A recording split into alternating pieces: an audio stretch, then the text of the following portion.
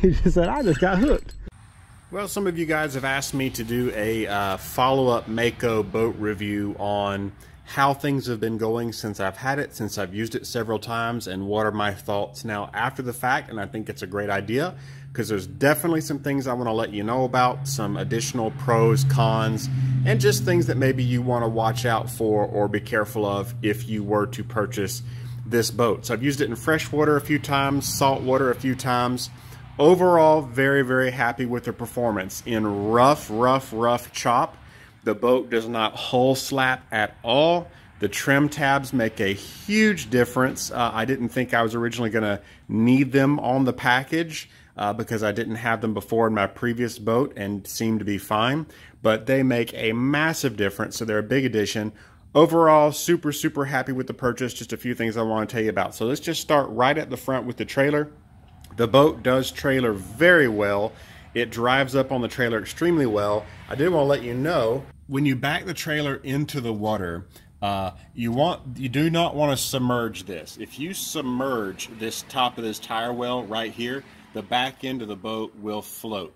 And if the back end of the boat floats, it's not going to trailer very well. So this trailer likes to be out of the water more. So what you want to do, for me, I put the water line about right here. Almost maybe a little bit over halfway up the tire and I find it trailers really well. You can play around with this, but like I said, you want to make sure that the trailer is enough in the water so that the boat can actually touch the bumpers and, and not hit the trailer in the back.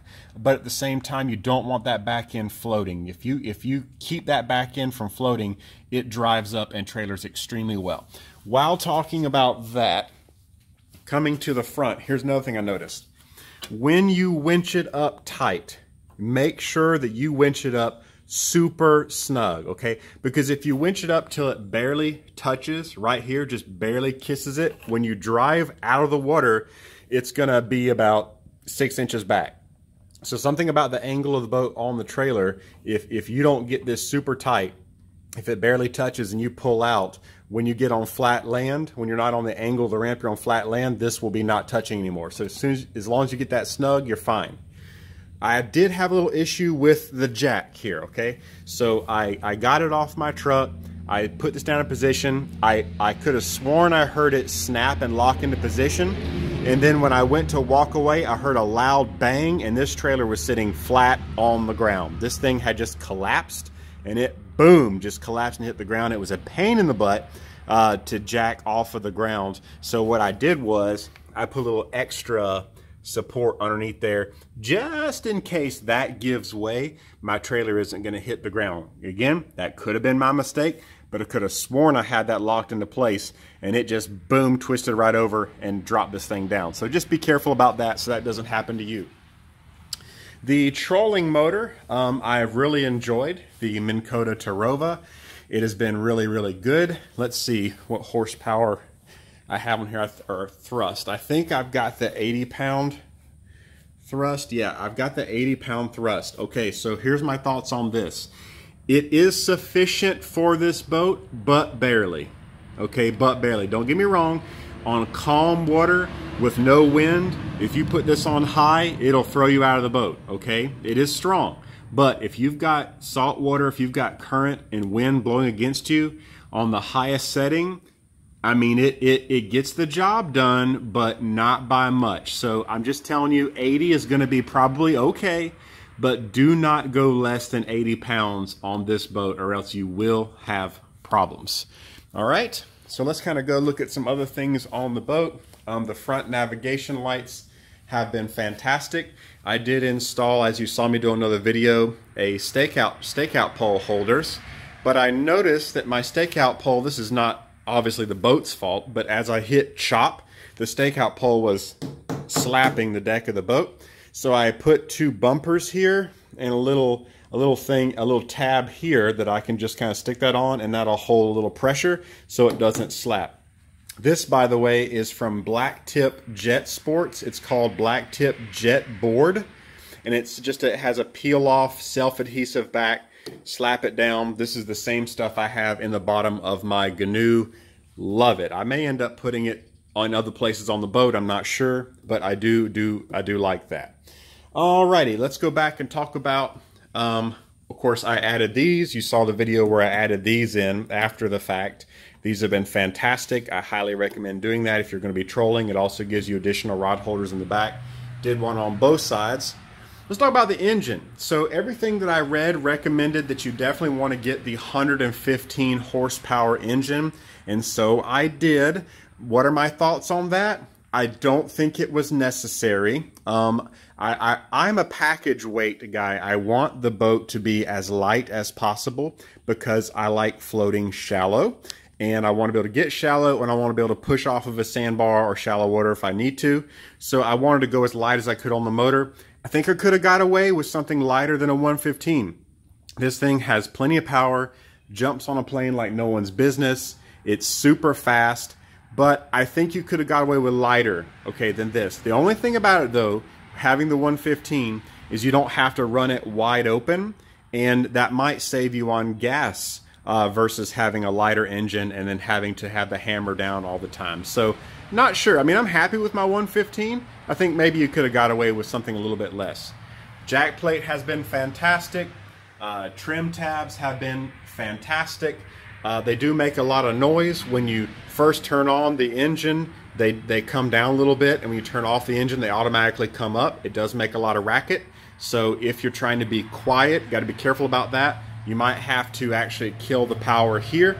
If you're trying to come up on some fish and quietly sneak in, you might have to kill the power there instead of just turning the key directly off from there. Okay, um, let's go inside the boat and look at a few things. As you can see, it's a little dirty because when you buy a new boat and you use it, that happens. But let's talk about a few things inside the boat.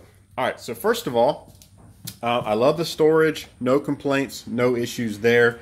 Uh, on the gas tank, be a little careful. They did warn me about this at Bass Pro, especially on a hot day. Cold day, not so much, but a hot day, if you just push that button and flip that cap, you're going to get a face full of gasoline. It builds a lot of pressure, and that cap does not really release that pressure that much. So you have to actually hold the lid, hold the cap down as you push the release button and slowly let it up and you will hear a rush of vapor coming out. Uh, let that, let it do that all the way until it stops hissing at you before you open it up. Okay. Because it will, you know, nail you in the face. So be careful about that.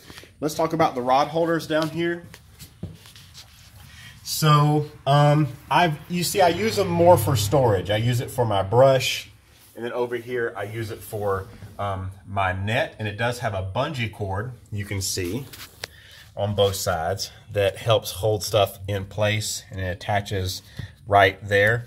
Um, I don't really like putting rods in here. I tried putting rod and reels in here, and they just bounce that bungee cord they just bounce way too much and it eventually kind of bounces it way its way kind of right on out so i'm not really cool with that i'm not really super happy with putting rod and reels there all right let's talk about the live well um, I, I like this the pro air system really keeps the fish alive it works out really well a couple things you got to watch out for make sure that you have the one of these shut that pumps new water in when you're running, okay? Because I noticed water was pouring around the center console around my feet while I was running and I didn't know what the problem was.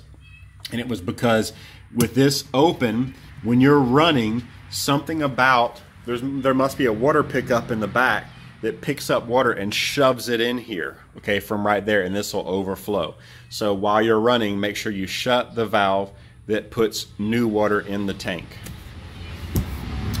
All right, moving back here.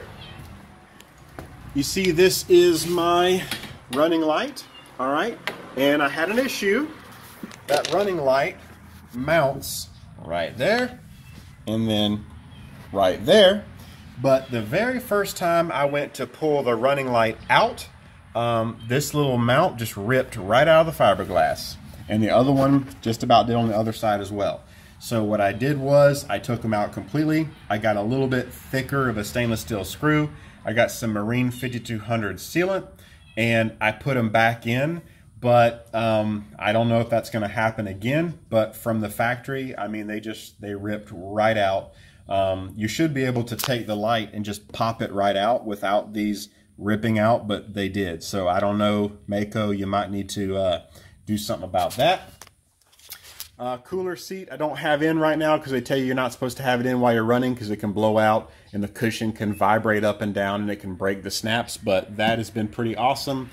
All the electronics have been really cool. I've loved it. Um, I find myself, this is the accessory switch. You have to have this on. You got to have the main on. You got to have this on down here. And then you got to have the main on and your accessory on to run your depth finder. Sometimes I'll accidentally somehow bump this and my depth finder will be off.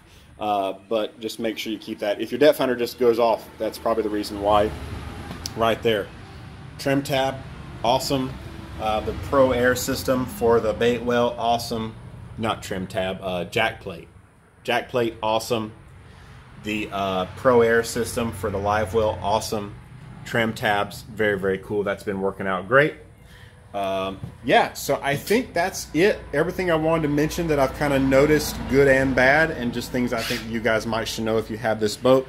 Would I do it all again? If I, knowing what I know now, would I purchase the 2023 Mako 18 LTS for about 45,000 out the door? Yes, I would because people are still wanting about that same amount of money for used boats with bigger issues and problems and no warranty. So I still think this is a great deal for the money. Yeah, I probably will.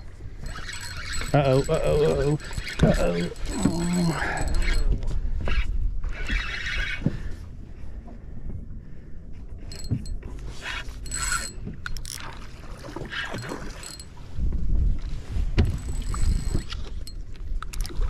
Yeah, it's a nice, nice red.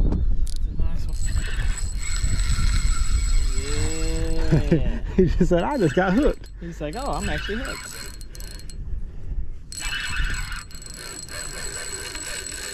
Good one. And neither the cast was good.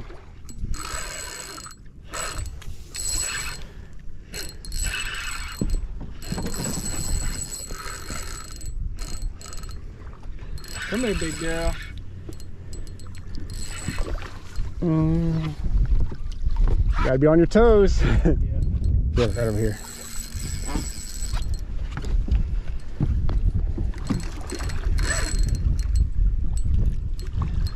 There we go. That's a nice red right there.